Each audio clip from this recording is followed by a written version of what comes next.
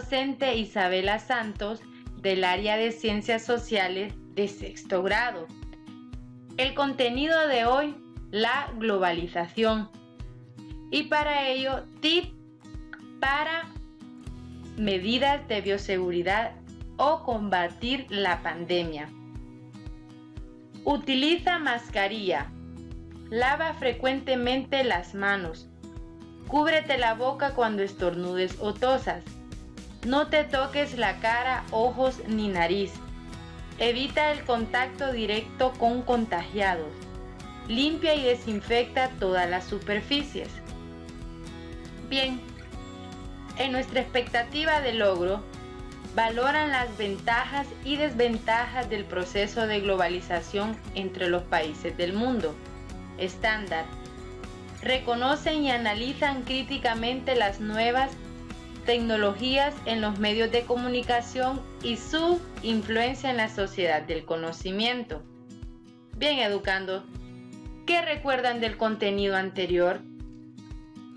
Muy bien, Segunda Guerra Mundial. Espero hayan aprendido mucho. El día de hoy abordaremos el contenido que es la globalización. ¿Han escuchado hablar de la globalización?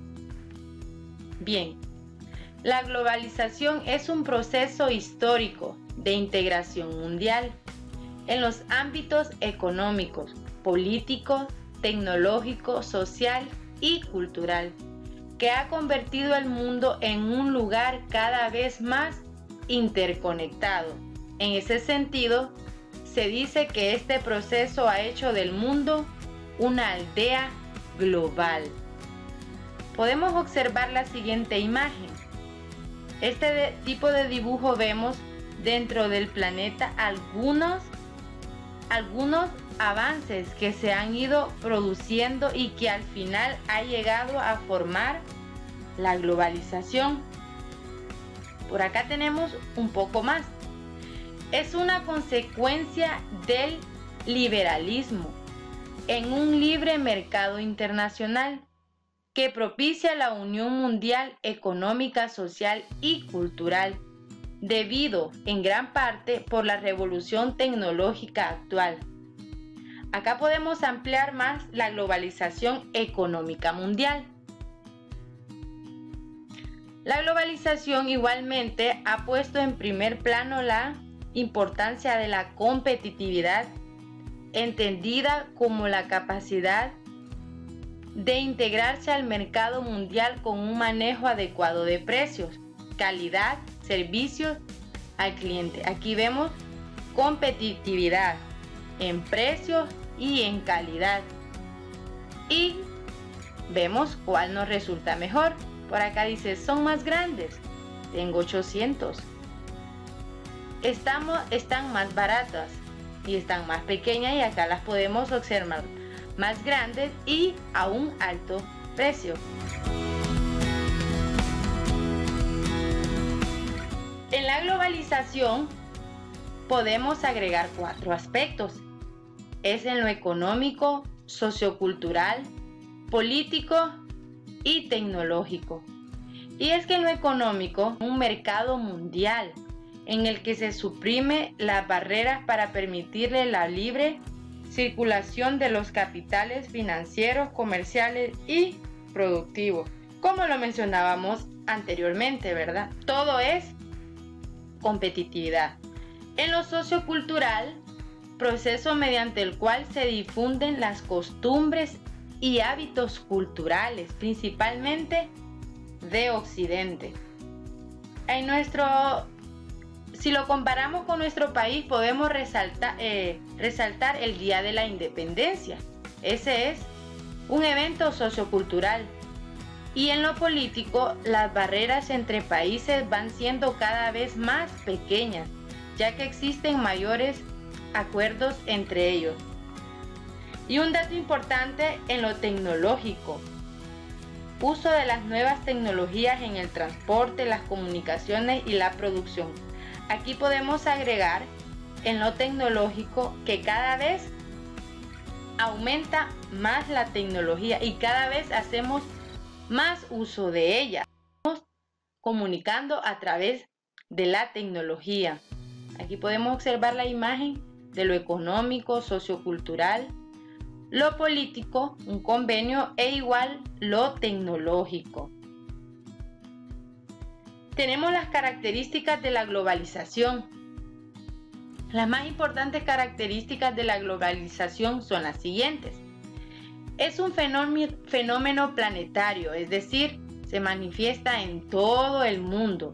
Es universal, pues abarca todos los aspectos de la vida humana y social. Es desigual, y asimétrica, ya que repercute de formas muy diferentes según el nivel de desarrollo de cada país y su cuota de participación en el poder mundial. Es impredecible, es decir, sus resultados no pueden ser anticipados. Depende de la conectividad y de las telecomunicaciones, como lo mencionábamos anteriormente con la tecnología. Supone la reorganización espacial de la producción, globaliza las mercancías y favorece la uniformidad del consumo.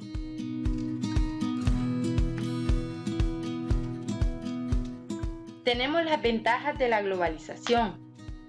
Desarrollo de los sistemas de comunicaciones globales.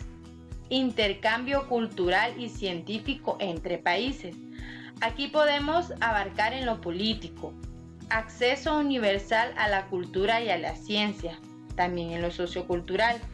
Mejores condiciones de vida en casi todos los países. Reducción de costos de producción, aumento de competitividad y economías de escala.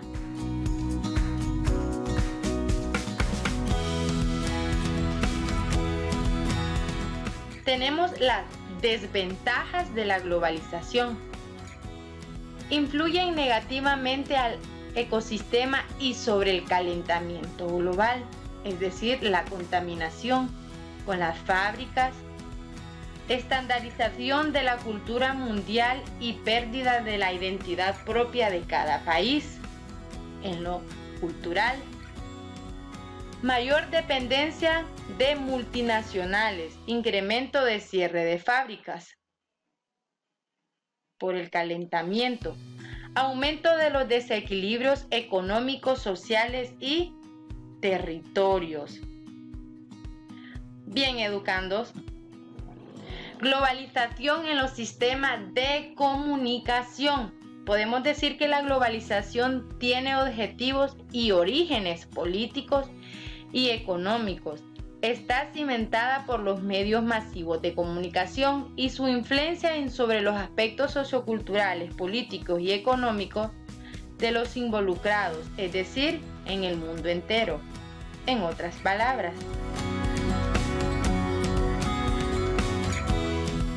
apliquemos lo aprendido. Enumera tres ventajas y desventajas de la globalización Muchas gracias por su atención. Espero hayan aprendido acerca de la globalización, sus ventajas y desventajas y sus características y podamos manejar el concepto de globalización.